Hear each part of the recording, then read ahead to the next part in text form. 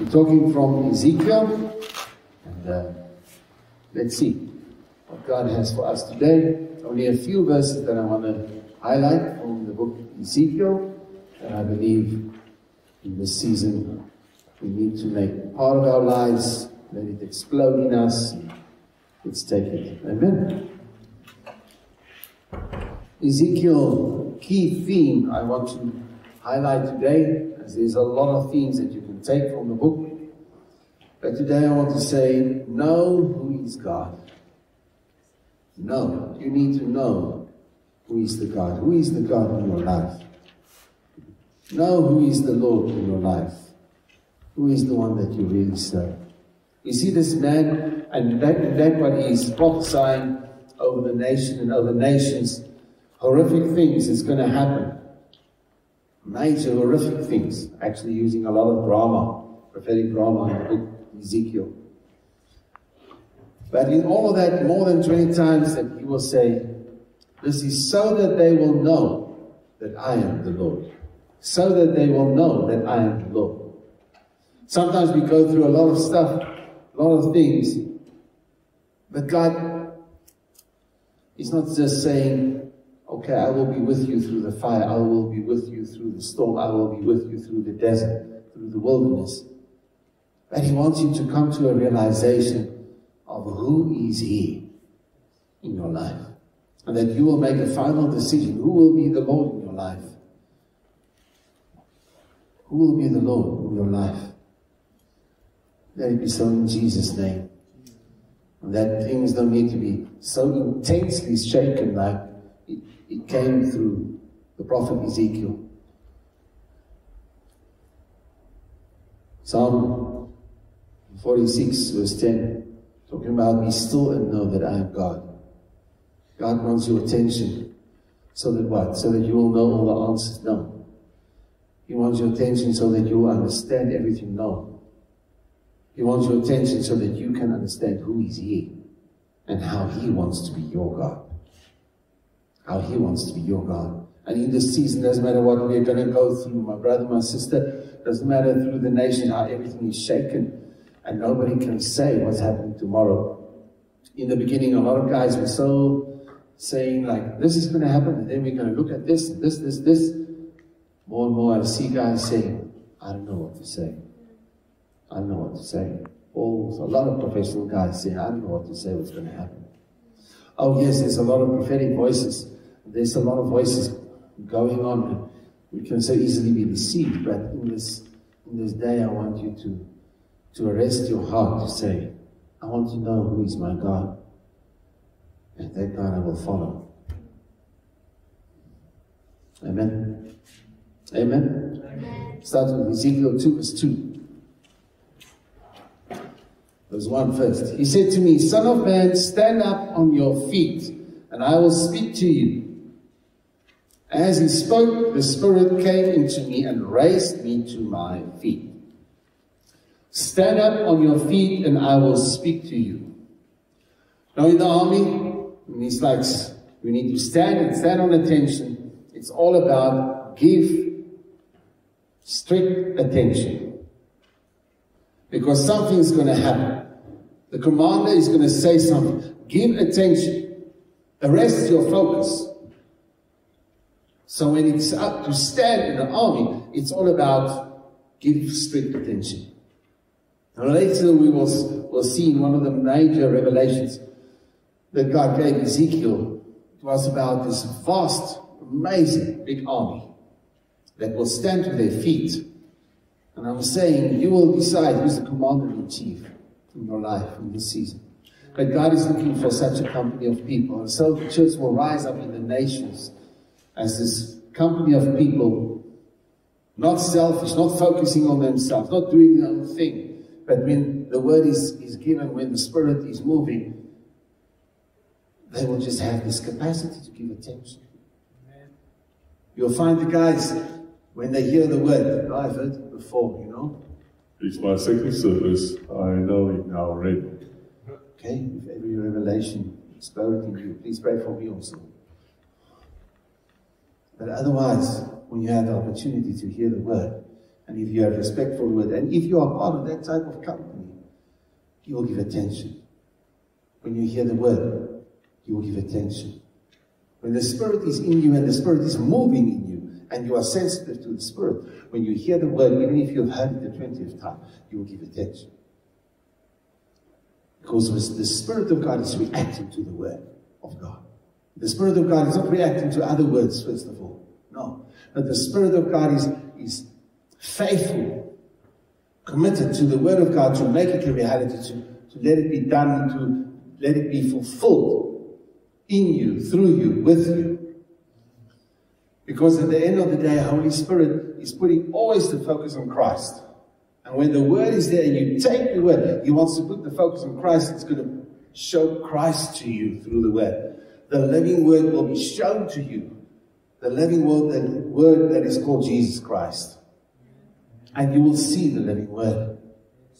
If you can stand to your feet, that means respectfully give attention to the authority that you are dealing with, that you are submitting to, that you're giving the honor to say, I'm focusing on whatever he's wanting to say. Yes. Not like I first need to understand why left and why not going to the right. No, there's only there's a company of people that will rise up in the end time that has the guts to say, God, whatever you say, that I will do. Yes. Not about the principle, not agreeing the, about the principle, but living the reality of that sentence. It's going to happen. I pray you will be part of it, that I will be part of it. Amen. Amen. As he spoke, the Spirit came into me and raised me to my feet, and I heard him speaking to me. Seven points, very short. Just write that down. First of all, he speaks. God speaks. My brother, my sister, God is speaking. If you're hearing him or not, God is speaking. But you will decide what to do about it. Number two, the Spirit fills. The Spirit will fill you up. When God speaks, the Holy Spirit is ready, ready, ready to fill you. Ready to fill you. The Holy Spirit is ready to fill you. If you are willing to take the word, the Holy Spirit is ready to fill you. When you heard the word that God said of the world that He gave His only begotten Son so that you don't have to perish but have eternal life, and you took it and you said, Jesus Christ, be my Lord and Savior. I give my life unto you. The Holy Spirit was so ready to come in and bring the rebirth. And within a second, you became child of God. Is that not what happened? That's how you became a child of God. It was a birth from the Spirit. But that's not the end.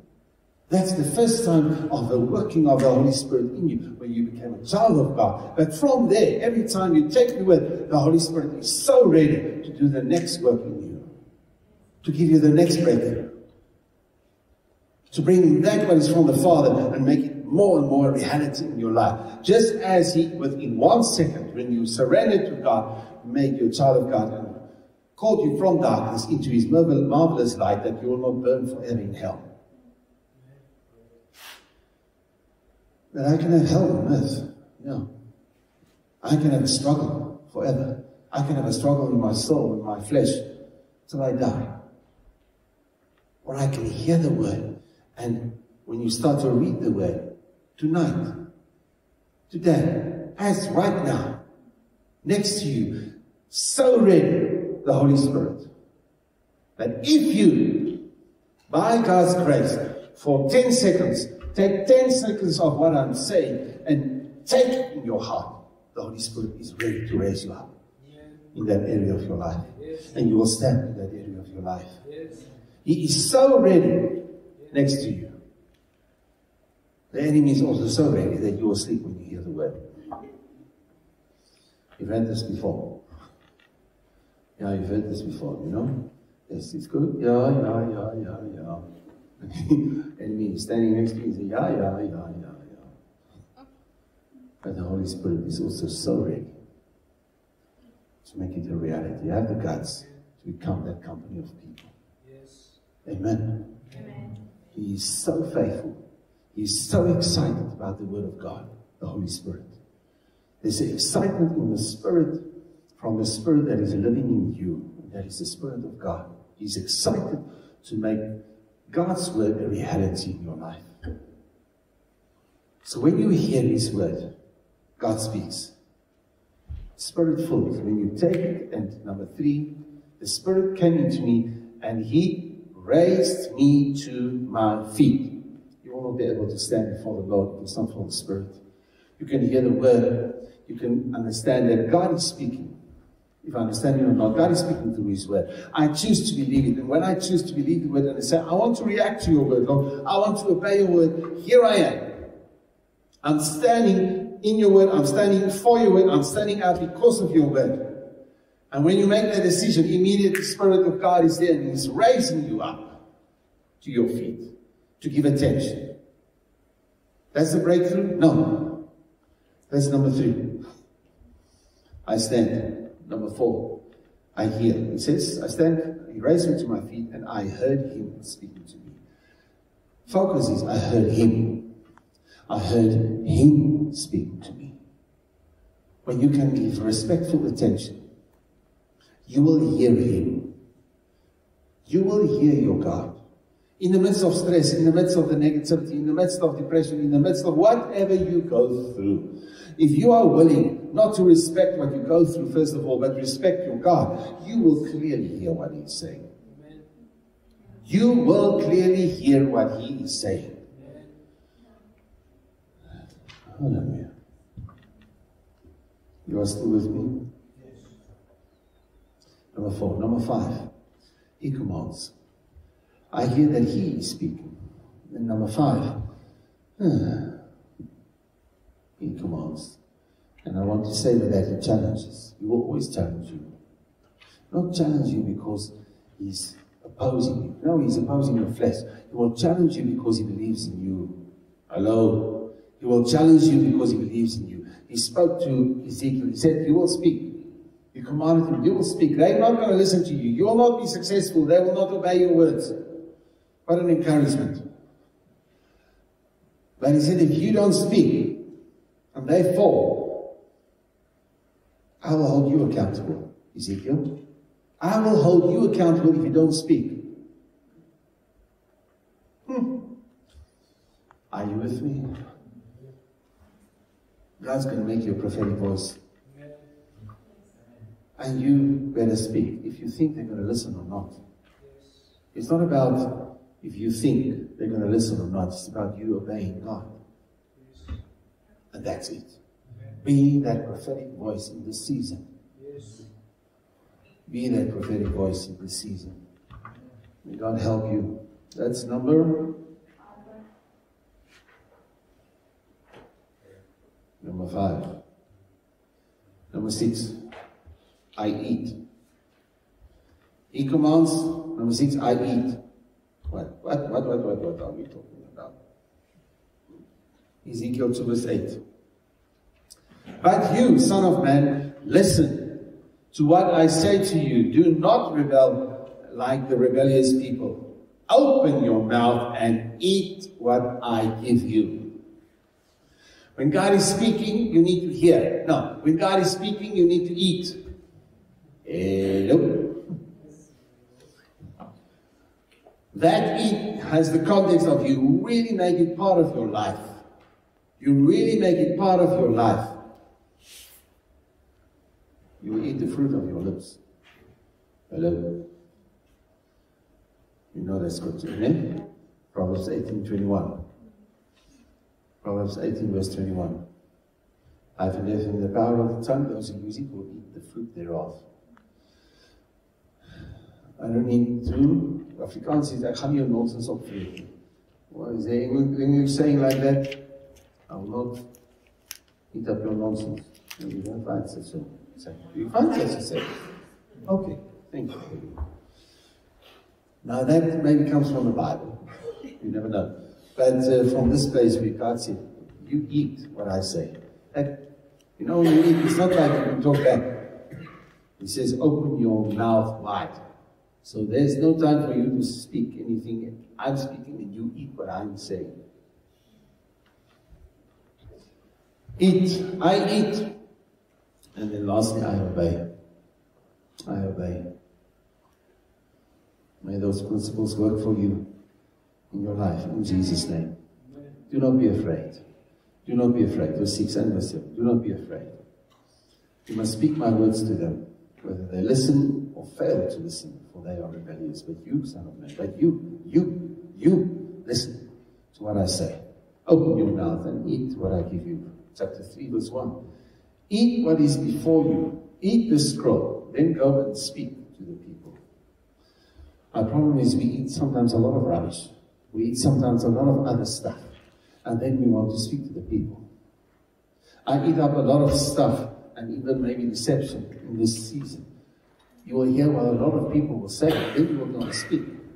But what you've eaten has a lot of poison. What you've eaten was not from God. That was what the devil dished out to you, or your flesh, or your own opinion, or your circumstances, whatever. They also come and say, Here, you can eat. And some of those stuff, unfortunately, taste very good in the beginning. But at the end of the door, the day, poison is there. That's where, at some stage here in, the book, God to him a lot of rubbish that he had to cook, that he had to cook it. I don't know what's in, in English, eh, on, on, uh, on human feces. You know what that is? It's a very holy word for something. Coming from you. And God said to him, This is what you will put in the pot, and you will cook it, or the excreta from the, the trap coming from humans. I just laughed. In Afrikaans, he said, Ah, Here. First time I ever read that, I just laughed and I said, Oh, I would have said exactly that. Ah, Here. I've never defiled myself, I never did this, I never did that. And then God said, Okay, you can use cow dung. it was nice for me, precious. How he was just speaking about, yes, Lord, I understand the, the message, but please, can I use something else? And God said, okay. God changed his mind. The drama that he wrote, the script. he said, okay, you can use some cow dung. But what was he saying? The rubbish coming from our life. When the rubbish from our life, we cook up some addition, some things for people around us. It means polluted, it's disgustable. Because if you read through Ezekiel, there's a lot of stuff that is rough, what is said there. A lot of rough stuff. Okay, saying it's disgustable what my people are doing. But so many times, more than 20 times, this is so that they will know that I am God. And not just I am God, that many times he said that I am their God, that I didn't change. My commitment didn't change. I am still here. I am still there. If they would say to me, I am still here. I am still here. I still want to identify myself with them because I want them to be a people for me. For to be my nation, my people. Hallelujah. God's going to help us. Amen. Are you with me? From there, what's the next scripture? Were in the first service? Chapter 11, verse 19 and 20. Okay. I will give them an undivided heart and put a new spirit in them. I will remove from them their heart of stone and give them a heart of flesh. Then they will follow my decrees and be careful to keep my laws. They will be my people and I will be their God. If they obey, if they change, if they are open to me, if they repent, if they come to you, what will God do with you? God will help you that you will not just go astray again. So that you will not just turn around and then go back into the rubbish. If you really come to God, God will give you a heart that's undivided. Because if it's divided, you're going to fall. Foundation is cracked. The house that you built with your life is going to fall. Finish. But an undivided heart with God, you will receive from heaven everything that God has for you. When you sit with that undivided heart, undivided heart means an open heaven. Undivided heart unlock the heavens. You can write that down. Undivided heart unlock the heavens. Open the heavens. The heavens are open when your heart is undivided on God. That's the key. I will give you my undivided heart and put a new spirit in them. Is it not what happens with rebirth? Immediately there's a new spirit in you. And that from your spirit you will worship Him in spirit and truth. Amen. Live from your spirit, not from your soul. I will remove from them their heart of stone and give them a heart of flesh. My brother, my sister, so many times with a heart of stone. And there's a stone in here. It's going to crush some things that's beautiful in you. That stone in here going to hurt yourself. It's not the heart of stone that you cannot hear from God, cannot receive from Him. Yes, that's true. You cannot put that something in your heart of stone. It's impossible because your heart is blocking whatever God wants to give you. So the one who, who's losing in everything is, is you. It's you locking. That must come from heaven to you. You're going to hurt yourself, first of all, with that heart of stone. When you know, when, you, when people speak, even when people speak the word of God, that you are actually, your heart is closed. Because you look at personality, you cannot look in the spirit. You've taught yourself to look in the flesh and not in the spirit. You cannot see what God sees. No, that's not like that anymore in Jesus' name. Amen? So may God help you, may God help me. That with that heart of stone that we can help one another. First of all, you crush things that are beautiful in your own life. Don't do that. Have a heart that is open, that is teachable, that is flexible, full of God's grace, full of His love, full of His mercy. That's the definition of a heart of flesh. Have the guts to be humble. Have the guts, the guts to be a servant, because of the curse of slavery, but a servant because of the honor in serving the Lord and do everything as if unto the Lord. Amen. Amen. Then they will follow. Then they will follow my decrees and be careful to keep my laws. Not, I'm careful to make sure that you know my opinion. I'm careful with my, with my thoughts and with my emotions the way that I want it. But you treasure what is precious to you. You treasure what is precious to you. So when it says be careful to keep, be careful to keep, is you treasure what God is saying. You treasure what God is saying. You handle it with care because it's precious to you, His word. It's precious for you, to you. His principles, the way He wants things to happen, it's precious to you. Amen. Careful to keep my laws. They will be my people and I will be their God. At the end of the day, with so many revelations in the book Ezekiel, through other prophets, being explained in the book Hebrews again about the new covenant, how God in the new covenant, He will write His laws in my heart, write His laws in my mind. You will forget, you will forgive and forget. Hello? And we will be His people, He will be our God. See this through the, the prophets. We see it in Hebrews. We see it in Revelation. At the end of the day, when, in God's dealings with you, even through the prophet Ezekiel, when it's rough, when there's a lot of rough stuff happening out there, God says, final sentence, I will be your God, you will be my people. Amen. That's his dream. Yes. He wants you to be his people. Amen. Not, I will be your God and you as a person will be my child. No. God died for people. For God so loved the world. Yes, personal. You better make it personal. For God so loved you. But always in the context of a people. If you grow up in maturity, you will know how to relate to the body of Christ. So easily we can stand on right and wrong. So easily we can say everything that is right or everything that's wrong. But if it doesn't come from a heart of grace and a heart of love, that you love that person and say, God help me because I can make 10 times more mistakes than that person. Then you're not working with God. You're not in His agenda. No. In everything you do, in everything you plan, in everything you desire, in everything that you do with people, or dream, at the end of the day, you must say, so that I can be part of His people and He will always be my God. That's, end of the day, the purpose. In everything, in everything, in everything. Even when God shakes His people and shakes the nation, even if He causes the fear to come upon the nations and the frailty of who am I? I'm just, I'm. Jesus says in the Sermon on the Mount, hey, we are but grass. One day there, one day gone.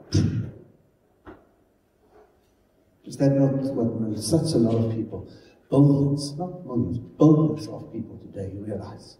We are but grass. One day I can be here. yes, they go. Okay, some ignorant don't even know that. But may God's grace be upon us. May God's grace be upon us, guys. If we will understand, God has an agenda. He wants the nations to know that He is God. That He wants to be their God. And He wants you to be His people. You are spoken to in the context of a group. So if you can live with maturity in a spiritual family, in a family context, and it's not tomorrow you offended. The day after that, that person is not doing what you expect. Then you are reasoning, I'm right he's wrong. He's, he's unfair in this. And you sit with that issues all the time. somewhere you need to be shaken by the Holy Spirit. And somewhere so that we can grow up and become mature. And then you know, you will know that you are walking with the God if you can be part of that. That means you can be part of his dream that he dreamt about. I can live my father's dream. I can be part of my father's dream if I'm part of the people. Not if I am just child of God, but if I'm part of a people. Because his dream wasn't you alone. His dream is a people, a peculiar people. 1 Peter 2, confirming in New Testament also. Amen. Then after that, next scripture. Help me. You need to scream me. 20, verse 19 and 20. Just confirming that. Verse 19. I am the Lord your God. Follow my decrees and be careful to keep my laws Keep my Sabbaths holy and that, they may be a sign between me and you. Then you will know that I am the Lord your God. Then you will know. It's so important for God that you will know that He is your Lord. Then you will know that I am the Lord your God. A lot of shaking and then you pray that the shaking will stop, that the breakthrough will come. But for your definition of breakthrough is not the definition that God has for breakthrough. Breakthrough for God is that you will know that He is your God.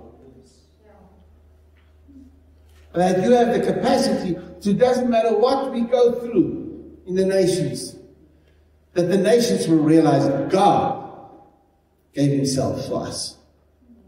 God is the only God we talked about that through the book Daniel, how all the heathen kings said there's no other God except the God of Daniel, the God of his friends. Hello? And that's God's agenda, that you will have the capacity to say, whatever we go through, I acknowledge, I say, I give attention, not to the things that we go through, not to the things, first of all, not even to the things of what I'm negative about depressed about. I will not focus on myself on my depression or, or anger or frustrations. No, let, let your frustration be God. It's okay. Many things are shaken. It's like you brought it on yourself. God have grace on me, have grace on us. That in whatever I go through, I will say, God, I acknowledge you alone. I will give attention to you. For whatever you say, I will not give attention so that I have an answer for my question. Yes, I would love that, Lord, please. I put my desires before you as you said in the word I must do. But with thanksgiving and in the context of you're the center. Wait on the Lord. Wait on the answer or wait on the Lord? Uh, wait on the Lord. Amen? The word says, Be still and no answer. No, be still and know that I am God. That I am in control. When I wrote that song, it was because I was in a place being stressed out and being this and being that and being that, and God chewed me in a loving way. And out of that, I wrote the song, The Stillness of Who You Are, I find, I find peace. And at the end of the day, I find peace, and peace is finding me because I know that you know. And the fact that God is your God, and you when you say He is my God, means He knows everything and He knows so much better than what I know. Yes. And the fact that I know that He knows everything, not the fact that I know exactly what to do and what not to do, and I know because I understand. No, I know that He understands. I know that He knows. And that place giving you peace. Peace comes from a place of humility and that you have the the guts to honor and respect Him as the final authority. From that place, you can have a peace. That child has this childish, not in a bad way, faith that if I'm with dad, everything is fine. That little child running to his mummy, and when he works with mummy, he feels everything is safe. When you look at the facts, when you're older, you can think, that little baby, doesn't mean everything is fine. When you look at facts. But we need to have childlike faith, what says. That in the midst of whatever, your childlike faith is that you will run to your God and say, God, I know that you're my God. And because I know who you are, that child knows, that little baby knows, that's my mommy. And he will run to his daddy, to his mommy. And he will just be and knowing I'm safe. May God help you. May God help me in that. Amen. Then you will know that I am the Lord, your God. Great. Next one. Ezekiel. 36. Ezekiel 36, verse 26, 27. I will give you a new heart, put a new spirit in you. I will remove from you the heart of stone and give you a heart of flesh. And I will put my spirit in you and move you to follow my, my decrees and be careful to keep my laws. Then you will live in the land that I give you. You will be my people and I will be your God. Just confirming that again. Ezekiel 37 from verse 4, 7 and 8. Let's quickly read, quickly read from this one. The hand of the Lord was on me, and he brought me out by the Spirit of the Lord. So many times you'll find in the book Ezekiel how the Spirit lifted him up, took him here, took him there. When you walk in the Spirit, when you are giving yourself, when you are prepared to stand in on attention with, with respectful openness to whatever he's going to say to you, you will be led by the Spirit. The Spirit will be able to take you, and you will go wherever the Spirit is wanting you to go. Here, the Spirit of God is taking him and set, he set me in the middle of a valley. It was full of bones. There's the song. Those bones, dry bones. No, not true? Something like that. Yeah. Neil says yes, yes. He led me back and forth among them, and I saw a great, a great, great many bones on the floor of the valley, bones that were very dry. He asked me, Son of man, can these bones live?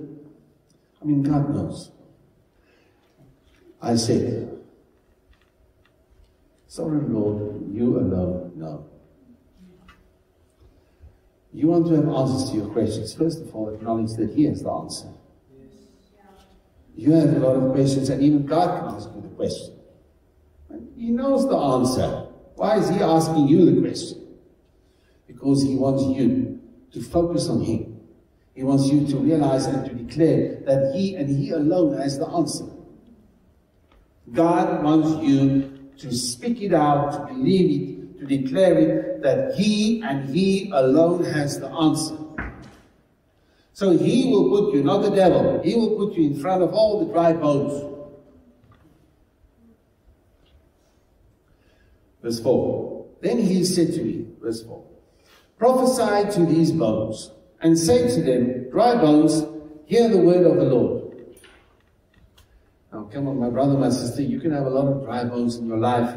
You can see a lot of dry bones in other people. You, you know, that you can stand on right and wrong and how wrong the bones are lying. This is wrong, and that bone is not supposed to be there, and this bone is. And you can, for this valley of thousands and thousands of, of men, women, I don't know, woman, part of a religion, and try to sort out those thousands of bones to get the right bone to the right bone. Oh, Lord have mercy. And it will not, you, it will not work. But to speak to the dry bones say, tell them how dry they are. Oh no, not to tell them what the governments are doing wrong and what the nations are doing wrong and what's wrong in this and what's wrong in that. Yes, yes, yes, yes, but never end with just the facts of the dry bones. You need to speak truth over the dry bones in your life. Truth over the dry bones in your finances, in your emotions, in your weak points, in relationships. You need to speak truth over the dry bones. God not going to take the dry bones away, but He's going to change it. He's going to use it in a miracle. So the dry bones are there. God took you into a place where the dry bones are and to show himself and to give you the miracle in what his purpose is all about. Hallelujah. Let's go. Verse 7. So I prophesied as I was commanded. I prophesied as I was commanded. You can take the word and you speak a lot of stuff. Speak what God has commanded you to speak.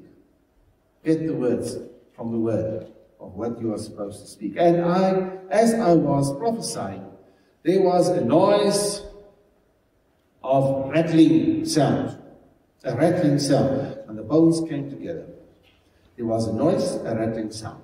My brother, I don't know if you know, sister, I don't know if you know, sometimes when you make a decision, say, I'm going to do this right, and you start to speak the word, and you start to confess the word, you start to speak the word, and then it seems like it's going worse.